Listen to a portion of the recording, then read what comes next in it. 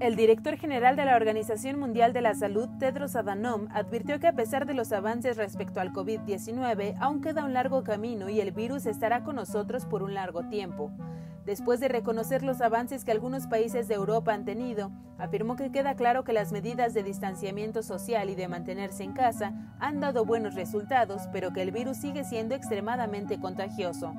A pesar de comprender que las personas quieran seguir con sus vidas y sus trabajos, ya sea porque lo necesitan o porque están cansadas de estar en casa todo el tiempo, el directivo reconoció que aún no se derrotará el virus y que la Organización Mundial de la Salud continúa trabajando para volver a la vida normal. En el futuro es posible que se establezca una nueva normalidad donde las personas tendrán que cuidarse más de la exposición a otras personas hasta que no se identifique una forma de derrotar a la enfermedad.